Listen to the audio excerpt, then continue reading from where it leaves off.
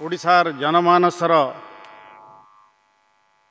ପ୍ରିୟ ମାନ୍ୟବର ମୁଖ୍ୟମନ୍ତ୍ରୀ ଶ୍ରୀଯୁକ୍ତ ନବୀନ ପଟ୍ଟନାୟକ ମହୋଦୟ ମୁଖ୍ୟ ଶାସନ ସଚିବ ସଚିବ ସ୍ୱାସ୍ଥ୍ୟ ଓ ପରିବାର କଲ୍ୟାଣ ବିଭାଗ ବିଭାଗର ବରିଷ୍ଠ ଅଧିକାରୀ ବୃନ୍ଦ ନୂତନ ଭାବେ ନିଯୁକ୍ତି ପାଇଥିବା ନର୍ସିଂ ଅଫିସର ବୃନ୍ଦ ମୁଁ ସର୍ବପ୍ରଥମେ ନୂତନ ଭାବେ ନିଯୁକ୍ତି ପାଇଥିବା ନର୍ସିଂ ଅଫିସରମାନଙ୍କୁ ଅଭିନନ୍ଦନ ଜଣାଉଛି ସ୍ୱାଗତ କରୁଛି।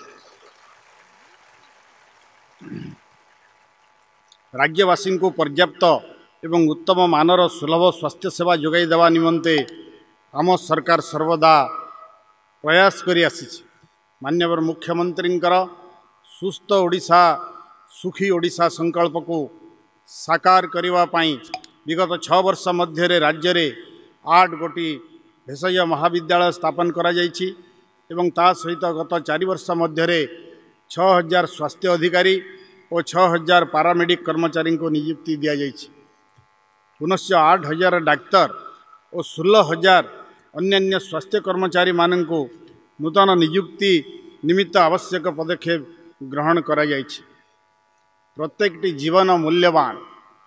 ମାନ୍ୟବର ମୁଖ୍ୟମନ୍ତ୍ରୀଙ୍କ ଦ୍ୱାରା ଆରମ୍ଭ କରାଯାଇଥିବା ଯୁଗାନ୍ତକାରୀ ବିଜୁ ସ୍ୱାସ୍ଥ୍ୟ କଲ୍ୟାଣ ଯୋଜନା ରାଜ୍ୟବାସୀଙ୍କୁ ସାର୍ବଜନୀନ ଦେୟମୁକ୍ତ ଉତ୍ତମ ସ୍ୱାସ୍ଥ୍ୟ ସେବା ଯୋଗାଇ ଦେବାରେ ସାରା ଦେଶରେ ଉଦାହରଣ ସୃଷ୍ଟି କରିଛି ଆମ ରାଜ୍ୟବାସୀଙ୍କୁ ଉନ୍ନତ ସ୍ୱାସ୍ଥ୍ୟ ସେବା ଯୋଗାଇ ଦେବା ପାଇଁ ଓଡ଼ିଶା ଅଧସ୍ତନ କର୍ମଚାରୀ ଚୟନ ଆୟୋଗଙ୍କ ଦ୍ୱାରା ସ୍ୱଚ୍ଛ ଓ ପାରଦର୍ଶୀ ପ୍ରକ୍ରିୟା ଅବଲମ୍ବନ ପୂର୍ବକ ସମସ୍ତ ସରକାରୀ ସ୍ୱାସ୍ଥ୍ୟ ଚିକିତ୍ସାଳୟ ପାଇଁ ନର୍ସିଂ ଅଫିସରମାନଙ୍କୁ ନିୟମିତ ନିଯୁକ୍ତି ଦେବା ପ୍ରକ୍ରିୟା ଅବ୍ୟାହତ ରହିଛି।